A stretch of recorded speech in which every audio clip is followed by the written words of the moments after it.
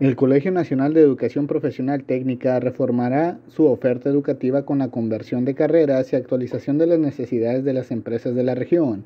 Para ello, a finales de mes, se integrará un consejo técnico con empresarios, analistas y personal profesional para actualizar el plan de estudios. Durante una presentación de directivos de planteles de educación media superior, el director del plantel, Ricardo Bercena Rivas, dijo que dentro de dos meses informarán cuáles serían la oferta tras su valoración. Actualmente ofrecen la carrera de profesional técnico bachiller en administración, enfermería e informática, y citó que por ejemplo en esta última ya existe interés por estudiar para piloto de drones y desarrolladores de software.